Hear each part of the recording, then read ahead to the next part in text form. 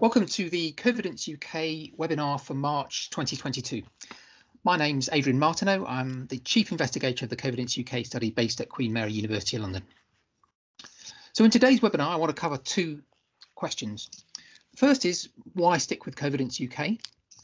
And the second relates to what the impact of COVID-19 has been on our household finances. So in terms of the first question, uh, all of us will know, of course, that the last month has seen major changes in terms of public health policy in the UK. Um, shortly after the last questionnaire came out, um, COVID self-isolation was scrapped and free tests uh, will end on the 1st of April. Um, more recently, you'll also be aware that all COVID travel restrictions have been scrapped uh, in a boost for the Easter holidays. Now, of course, all of this is cause for celebration, but I wouldn't want you to go away with the impression that uh, COVID-19 has gone away entirely. Um, first of all, let me just show you the latest statistics uh, showing that uh, in the last week or two, uh, in line with relaxation of a lot of the restrictions we've been living under, um, COVID numbers have started to increase. And Sajid Javid himself has advised that Britons should brace themselves for rising COVID cases. And although, of course, for uh, many of us, um, COVID-19 infection, particularly with one of the new milder variants, uh, is a relatively mild illness, uh, we must remember that for clinically extremely vulnerable people who have problems with their immune system or other underlying conditions, COVID-19 represents a real threat to health and that is ongoing. A second thing we must bear in mind is that uh, government funding for COVID tracking research has been cut in line with the latest relaxations. Um, and this means that we now have reduced surveillance for uh, COVID tracking uh, across the UK. Now, one of the big advantages of COVID Covidence UK is that we're independently funded, and so that allows us to continue to monitor new infections, vaccine efficacy and impact of COVID-19 in the UK population. One good example of the work that we've done recently uh, on looking at the impacts of COVID-19 was publicised in The Guardian uh, last week on the 9th of March, um, which highlighted new work that was coordinated uh, by Anne Williamson here at Queen Mary University of London, who's a health economist in our team, who's been looking at data from the Covidence UK study, which examines the link between testing positive for COVID-19 and subsequent economic hardship. Uh, and Anne is joining us on the webinar today to present her work.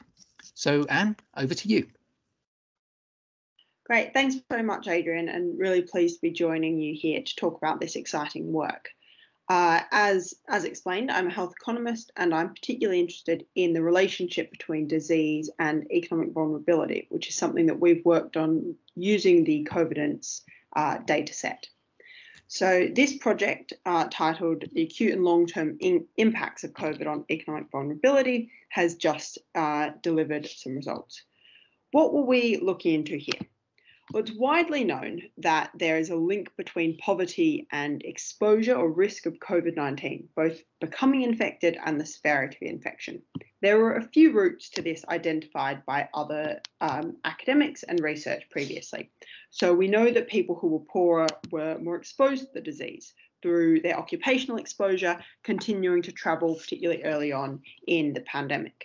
There's also social and environmental exposure, the living environment, for instance, of people in particularly crowded spaces, and increased vulnerability due to underlying comorbidities that were already associated with lower socioeconomic backgrounds. These relationships or um, increased risk continued even in the vaccination era, as some research by others on the Covidence project has shown. So this problem hadn't gone away. But what we were interested in here was not just the direction of risk or causality from poverty to infection, but whether the reverse also existed, whether those who became sick with COVID 19 were at greater risk at ending up in greater poverty um, at the end of the pandemic. To investigate this, we conducted a long term follow up study looking at the impact of COVID on the adequacy of household income and also the uh, risk of being absent from work due to sickness, one of the key routes that people could find themselves economically vulnerable.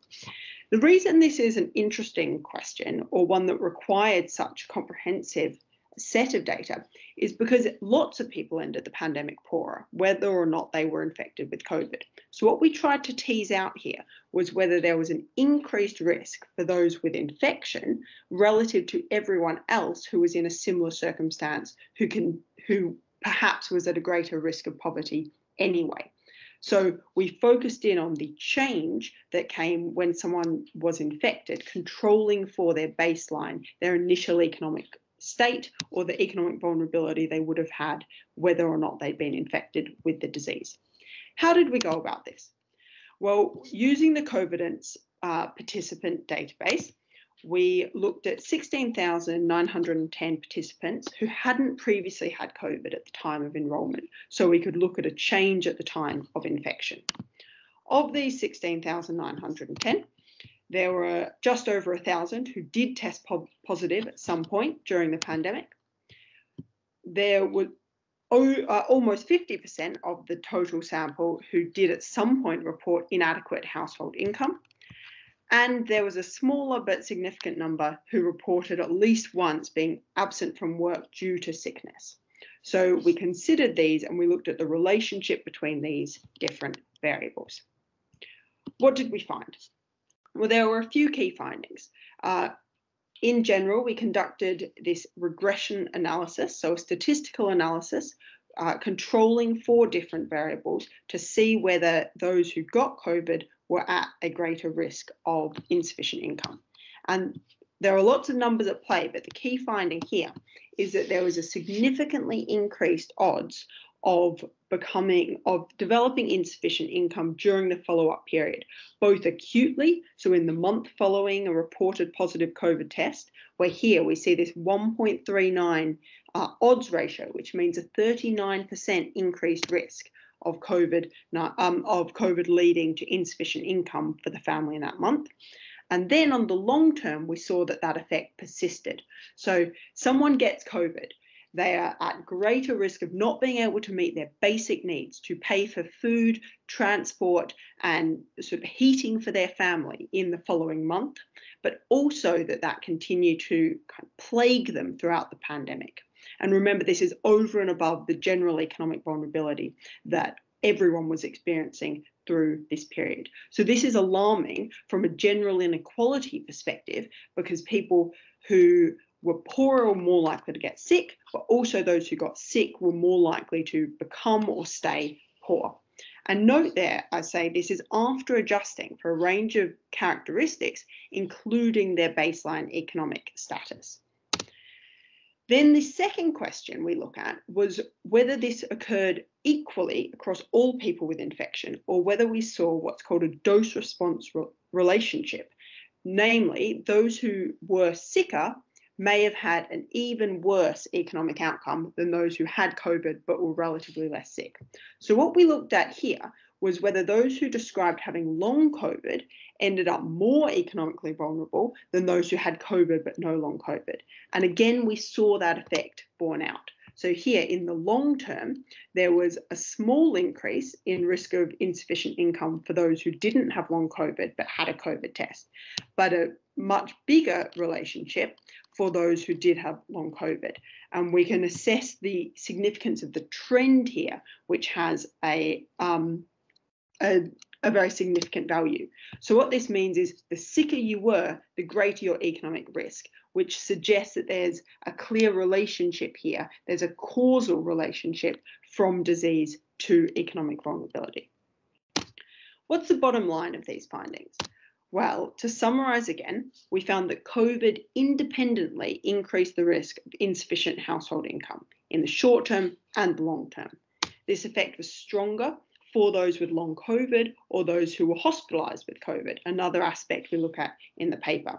And then in further analysis, with details I haven't gone into here, we also found an increased risk of sickness absence in the long term.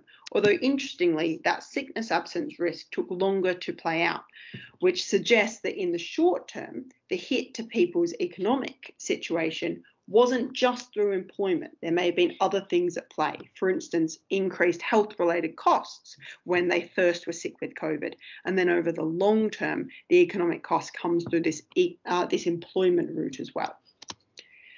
What do we do with these findings? What happens next?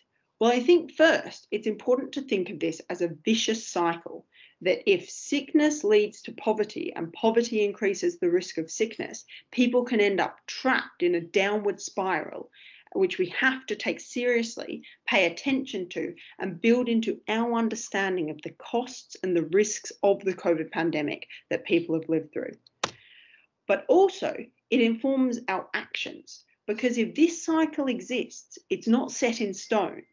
If you intervene effectively early on and in a decisive way, we can break this circuit. So, particularly, what this information empowers us to do is circuit breaker interventions that aren't just medical. Imagine, for instance, someone is hospitalized with COVID. They're at risk of this downward spiral into economic vulnerability.